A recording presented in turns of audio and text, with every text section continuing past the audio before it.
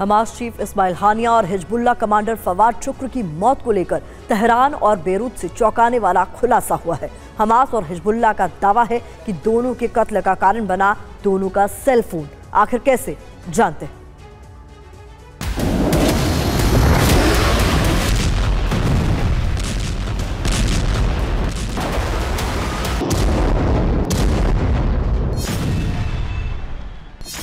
Hamas chief Ismail हानिया की मौत कैसे हुई? इसको लेकर कई तरह के कयास लगाए जा रहे हैं।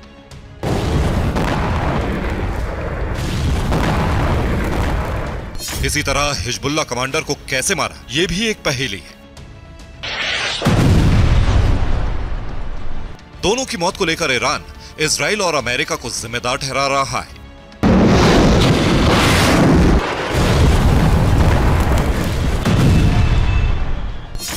दोनों कमांडर की मौत को लेकर चौंकाने वाला खुलासा हुआ है। इस्माइल हानिया के बेटे अब्द सलाम हानिया ने एक इंटरव्यू में दावा किया है कि इस्माइल हानिया की मौत एक मिसाइल से हुई। सेल फ़ोन से उन्हें ट्रैक किया गया था। जिस वक्त उनकी हत्या हुई तो फ़ोन उनके सिर के पास था, जो विस्फोटक डिवाइस नहीं था। हालाँकि हमले के पीछे कौन है, इसके बारे में कुछ नहीं बताया, जबकि ईरान इसे इसराइल की साजिश मानकर हमले की धमकी दे रहा है।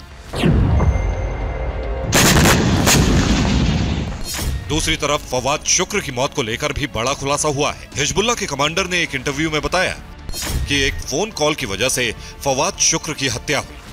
जिस दिन फवाद की मौत हुई, वो बेरूत में हिजबुल्ला के कमांड सेंटर में मौजूद थे। वो उस दिन दूसरी मंजिल पर थे।